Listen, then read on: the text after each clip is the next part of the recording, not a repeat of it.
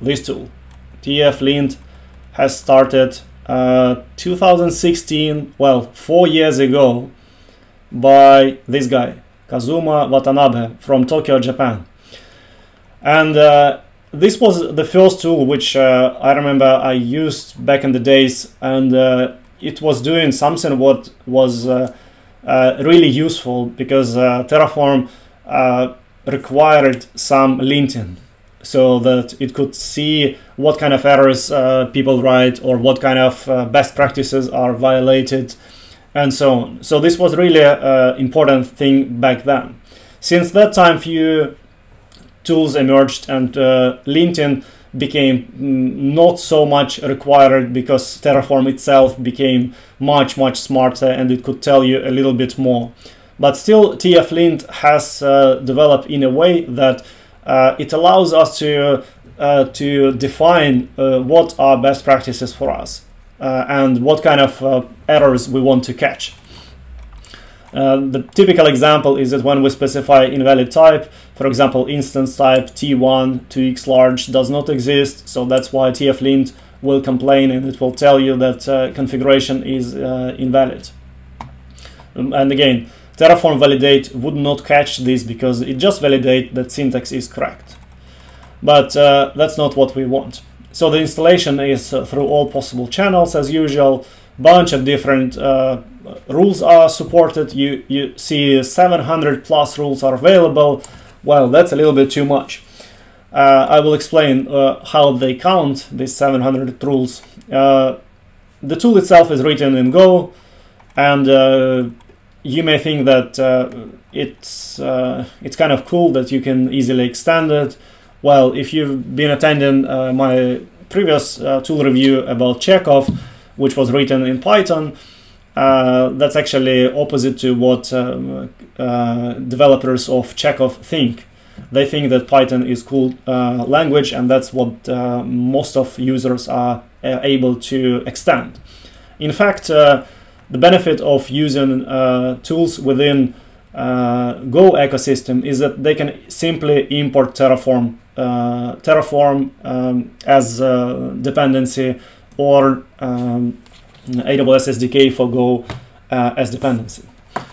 So that's what uh, uh, uh TF-lint is using. So they have 700 rules where these 700 rules are actually uh, many of these rules are uh, not many, but they are SDK based validation. So if it is required by SDK to to follow certain convention, it will be enabled.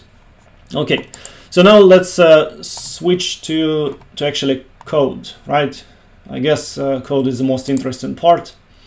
At least it's interesting for me to show how cool it can be. So now the question, oh yeah, here is it. I actually put tf those samples somewhere here, and this is where I put some of configurations. Well, isn't it typical that it stopped working right uh, when I wanted to show, right? This is called demo effect. Okay, maybe if I remove this one, maybe this suddenly, oh yeah. You see how dependent is it? I fix file in one folder, which is absolutely not related. And this is broken. If I delete this content in absolutely wrong folder, then this works. No, this doesn't work. Oh my god. restart the server. No, no. Hmm. Uh, that's okay. Yes, now now it does something, but yeah, okay, it's starting slowly.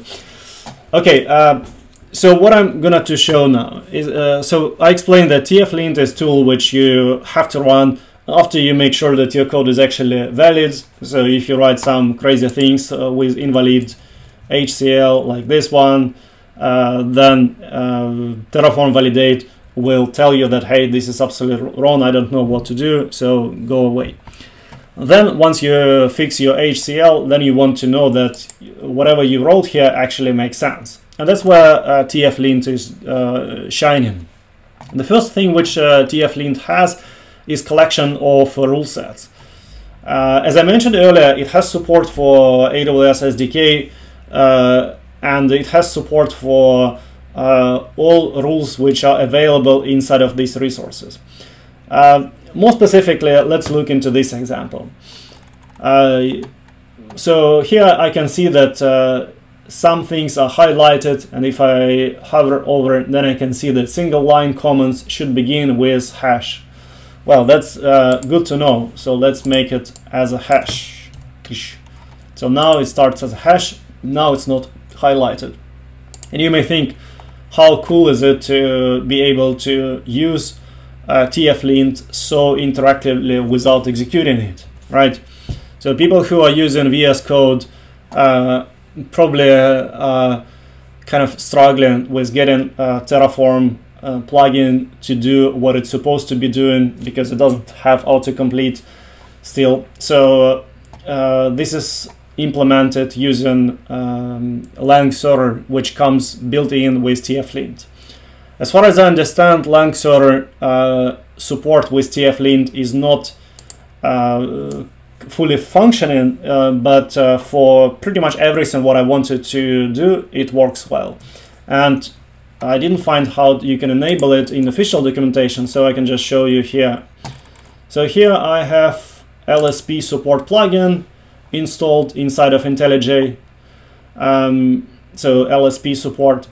And then if I go to lang, lang, what is it, lang, lang server, no, lang, language, probably language server, mm, language server, where is language server?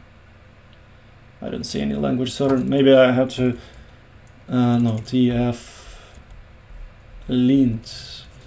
Where is it? Lsp plugin. Well, I wanted to show how cool is it, and now I couldn't find where to even click. Uh, but uh, I need to find it because it's kind of cool. Language language inspection, maybe this one. No. Hmm. So here is it. Language server protocol. Yes, it's not LSP, it's language server, protocol. So uh, what you have to do is that you need to uh, specify on server definitions raw command for files with TF extension to run this command. And that's pretty much it. Uh, also, I think make sure that you enable log servers communication and always send request. I'm not sure that this is necessary, but I think so. So once you enable these uh, two things, then you can go to, you see this green icon, language server for extension TF. So this is uh, starting to be green once you enable it uh, inside of settings. So what happens now is that every time when I uh, when I save, I guess when I save files or maybe when I type it, it is uh, communicating with language server, and uh, it's actually highlighting these warnings. So these warnings are also available in problems if you want to see them. Uh, but it looks so pessimistic, so let's don't show it on screen. Uh, so when I see this information here, I can uh, easily fix it. As I showed, I just fixed this one, and uh, then there is another one, and I have no clue what it means, so I can run, okay, yes, I can run terraform get, but uh, when I highlight over the, the underlined line, it says module source uses default ref master, which is not recommended. So it should be pointing to specific version 1, 2, 3. I think this is good. So master is like latest, you should avoid it. Um, so once you have this information visible here and uh, you fix your code accordingly, uh, it's gonna to be it's gonna be faster uh, faster uh, feedback for you. So now let's look into how you can configure it. So the first way how you can configure it is that you can put uh, .tf-lint file. If you don't put this, then there will be basic things enabled like uh, few Terraform uh, standards will be um, not Terraform standards, sorry, Terraform best practice rules will be enabled. Uh, I don't remember which one, but uh, very basic one. Uh, for this example, and actually for all Terraform uh, AWS modules, I enable all of them because that's what makes sense. makes sense to my opinion. So this is pretty much the whole configuration which you can write. So it's well documented, uh, nothing really interesting there. Uh, now let's talk about tricky parts, okay? Uh, tricky parts here, there are a lot of them, a lot of them. Uh, so the first one, which is related to here. Okay, so I have uh, updated pre-commit Terraform uh, hook to be able to support Terraform TF lint Oh, so this was available long time ago. Okay, Terraform TF lint will execute. Here you can specify as args different arguments which you want to do. So in some cases, like uh, with cases with Terraform AWS modules, we don't want to run absolutely all rules which comes natively with AWS SDK. I will explain why later. But uh, I, all I want to do is that I want to make sure that uh, there are basic Terraform best practices rules are uh, enabled. So only those rules are enabled. For situations when you have, uh, let's say like on VPC module, where we have examples, lots of different examples, and also we have uh, some configurations inside of main folder. So that's pretty, pretty much typical module, how it looks like. We have Terraform configuration files all over uh, the repository in different folders. So what we can do is that inside of pre-commit uh, config file, we can specify that we want to run uh, Terraform TF lint, but uh, we want to load config file, which is actually stored inside of git working dir, which in our case root of uh, repository. So that's why when it will run Terraform TF lint hook on all of these files, it will validate using shared TF lint config file. Uh, alternative solution to that one is to put real path, but quite obviously uh, my computer is not the same as everyone else's computer, so it will not work anyway. So that's why uh, we introduced Git working dir uh, as a placeholder, which will be replaced uh, by Terraform TF lint hook. I think it's kind of cool. So by, when we added this one, it, it was quite uh, quite obvious that it's going to work for this module. But then I added the same support to Lambda module. Let's see where is Lambda module. Yes, Lambda module. And in Lambda module, this is where things start to be complicated. Uh, you can see that uh, the solution here is slightly different. So args are described as only, only, only. So what can be the reason for that? The reason is that if we are uh, checking information, let's say main TF, okay, so we have main TF. Here we see that uh, it's highlighting something. It says does not match valid pattern. Well, of course it does not match because this is module. Module expect a function name to be passed into this module. So there is no need to validate values for this uh, function name. By default, function name is empty because uh, module supports conditional creation, which means that maybe you don't want to create a function, maybe you want to create layer, or maybe you want to just package your Lambda resources or do something else. So that's why all of these uh, parameters are optional, like absolutely all.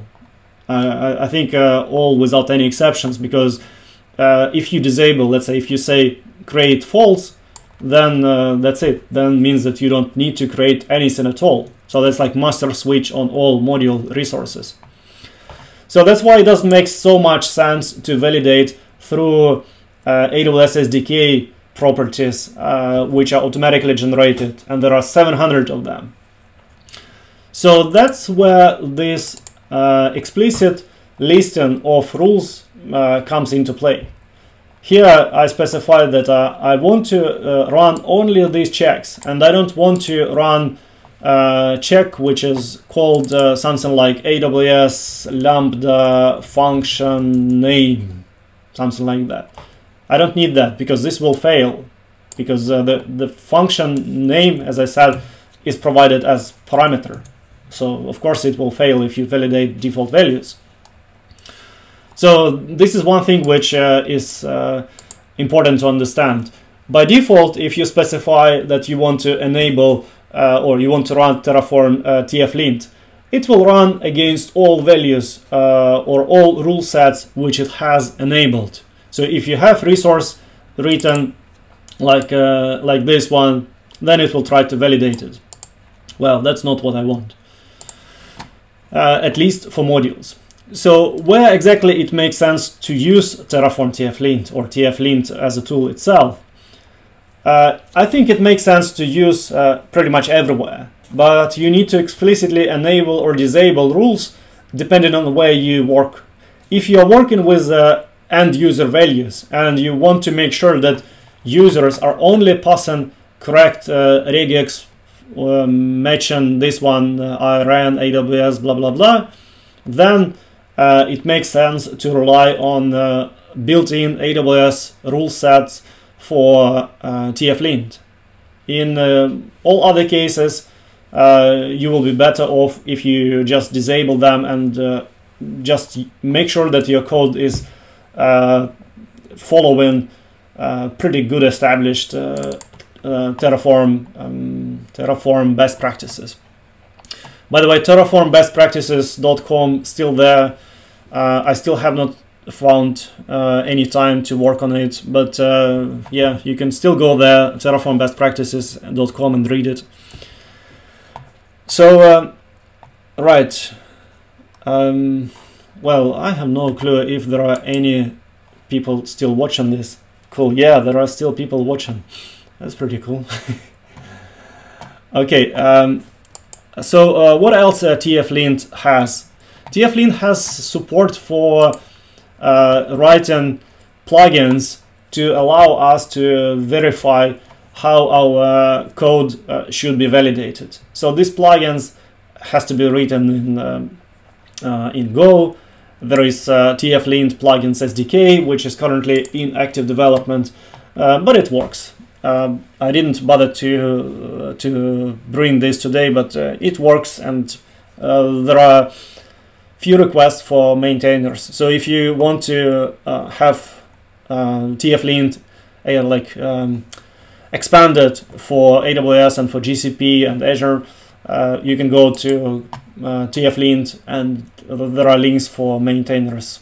So you can go there and see um, maybe you want to spend your time there. Um, okay, I think uh, that was pretty much it um, yeah.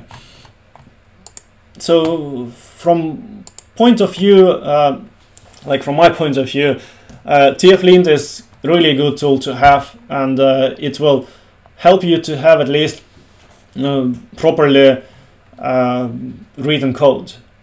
Maybe not so much in terms of how code is actually behaving like different patterns are used but at least your code will be uh, containing files uh, in correct places, documentation, uh, commenting, uh, and really cool thing is unused declarations uh, because sometimes you, you want to see whether you have something absolutely unused. Um, so yeah, uh, I think uh, it's pretty cool. So you should definitely try to embed it as early as possible in your development process.